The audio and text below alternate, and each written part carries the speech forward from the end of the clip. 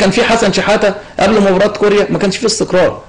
آه. لكن نرجع بقى لحاجة مهمة جدا. ال- الاستقرار وعدم الاستقرار كل الكلام ده انت محتاج لحاجة مهمة جدا كجهاز فني وهو عنصر التوفيق. التوفيق. آه. وعدم وحاجه تانية مهمة جدا عدم التوتر خارج الملعب إن التوتر بتاع الجهاز الفني بيؤثر ينتقل. ينتقل بسرعة للعيبة ويؤثر على أداء اللعيبه النهارده حسن شحاتة واحد تاني. اللي كان فيه حسن شحاتة قبل مباراة كوريا ما كانش فيه استقرار. آه. لكن نرجع بقى لحاجة مهمة جدا.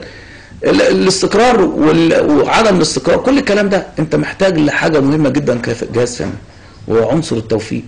التوفيق. آه. وعدم وحاجه تانية مهمة جدا عدم التوتر خارج الملعب إن التوتر بتاع الجهاز الفني بيؤثر. ينتقل.